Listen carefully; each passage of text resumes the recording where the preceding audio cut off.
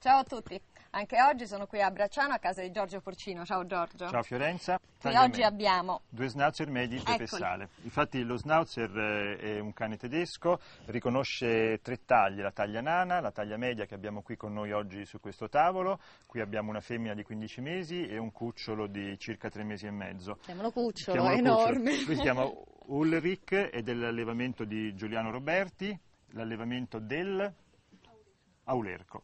E praticamente è un, è un cucciolo e quindi un po' crescerà, crescerà un pochettino più di questa, di questa femmina che abbiamo, che abbiamo sul tavolo. Esatto, i maschi c'è un piccolo dimorfismo sessuale, quindi i maschi sono leggermente più grandi. E poi lo schnauzer riconosce comunque anche un- una taglia gigante.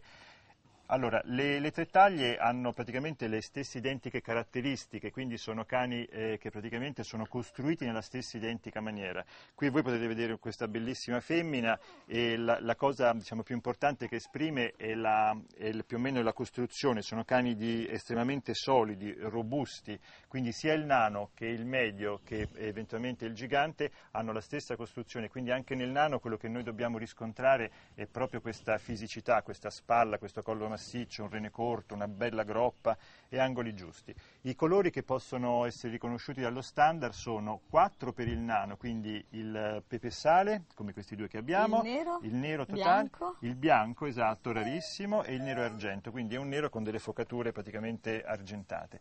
Sono cani estremamente sani, solidi e robusti, grandissimi guardiani. E si sente che sono robusti. Sì, hanno guarda, un peso specifico forti. incredibile, è un piacere quasi accarezzarli. Qui con noi abbiamo sul tavolo finalmente, diciamo in un certo senso, una femmina integra. Integra cosa vuol dire? Con coda lunga e orecchie non tagliate. Lo standard, come dicevamo, è la Germania che ha deciso e quindi praticamente tutti questi cani non possono più, cioè a questi cani non si può più tagliare né coda né orecchie, praticamente Perché prima invece vietato. tagliate? Prima venivano tagliati diciamo, per un motivo forse più che altro tecnico e pratico, perché diciamo una cosa, il- lo schnauzer era un cane da guardia, viveva mh, insomma, più o meno nelle, nelle fattorie, a contatto col bestiame, a contatto quindi con tutte quelle, quelle situazioni che potevano essere anche stressanti per orecchie e coda. Quindi i cani da guardia purtroppo hanno avuto, oggi sicuramente meno, ma in passato naturalmente avevano un'attitudine di, di guardiani.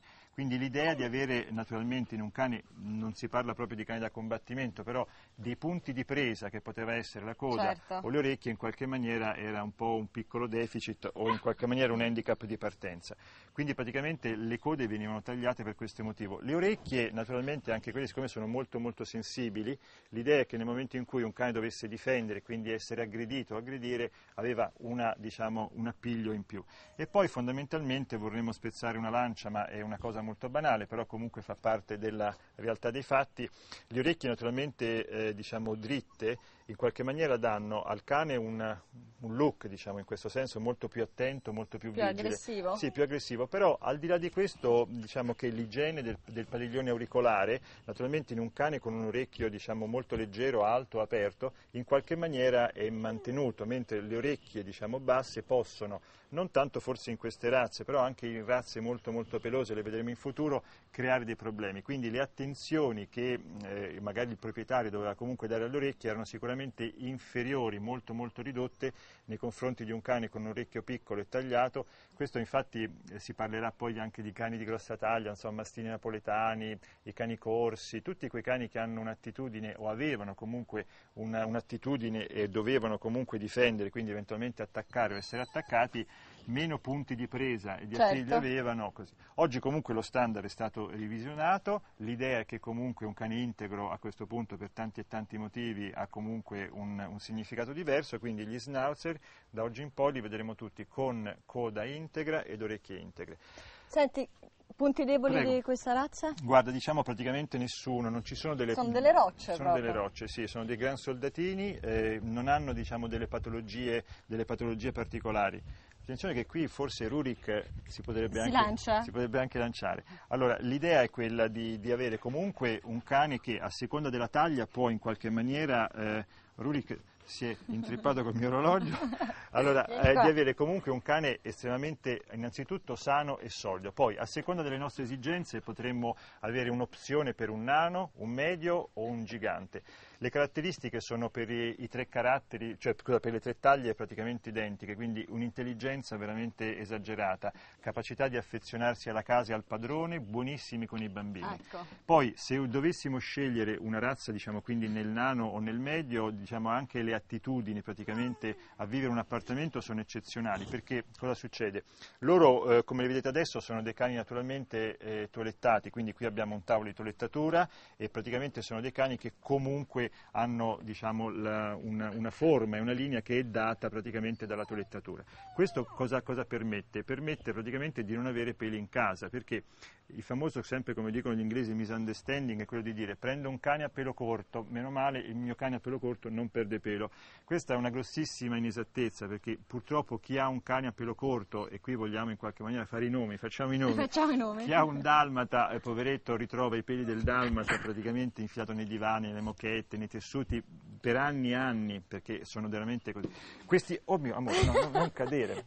Questi, Il questi, nostro tavolino, che è il tavolo quello da sì, esposizione, esatto, niente, comunque esatto, è un po' ristretto, è un po' ristretto. Quindi invece questi cani, diciamo, con questo pelo, praticamente hanno bisogno un paio di volte l'anno di essere affidati al, diciamo, alle sapienti mani, naturalmente, Di un di un bravo toilettatore. Che, farà, che cosa farà il toilettatore? Il toilettatore non farà altro che un paio di volte l'anno asportare, ci sono dei coltellini fatti apposta, di asportare praticamente tutto il pelo morto che in realtà rimane poi attaccato, facendo sì che cosa? S- Dando Si chiama questo... eh, un- il nome viene è inglese, stripping. Lo Lo stripping, stripping, è praticamente asportare questo pelo morto, quindi si ridà al cane la sua linea originale. Noi non avremo mai un- assolutamente un pelo a casa perché comunque viene asportato, come ripeto, due volte l'anno. Quindi mi stai dicendo che questi cani non perdono pelo? Esatto, come dicevamo poc'anzi, basta due volte l'anno affidarli alle mani di un bravo diciamo, toilettatore che porterà via con, eh, ci sono degli strumenti particolari, quindi questo si chiama stripping. Lo stripping non è altro che un piccolo coltellino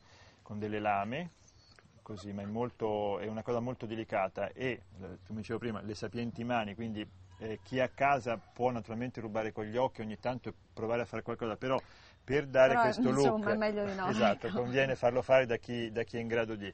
Questo, questo coltellino che è piccolissimo, passato sul pelo del cane in maniera molto delicata, non fa altro che togliere una piccola lanuggine e tutto il pelo morto in realtà che avanza, dando praticamente la linea. Questo cosa fa sì? Fa sì che il nostro cane non perderà mai pelo a casa e non è poco. Quindi Certo. questo due volte l'anno lo fa, lo fa il toilettatore. A casa basta tenere un cardatore. Un cardatore è una spazzola particolare fatta con dei piccoli Dentini di metallo? Dentini di metallo, esatto. Questa spazzola, se tutti i giorni, un paio di volte alla settimana, viene passata in maniera molto, molto veloce e altrettanto diciamo, energica, e anche questa asporterà questa lanuggine. Questo farà sì che il nostro cane non perderà mai pelo, sarà sempre in ordine. Giorgio, una cosa, ma il segreto per riuscire a mantenere questa barba così perfetta, perché questa Un banale, del, un banale pettine, un banale Ah, ok, pettine, un banale pettine, anche con questo naturalmente dopo magari le colazioni o le cene basta solamente pettinare come si possono pettinare, non so, qualsiasi altro tipo di pelo solo per la barba.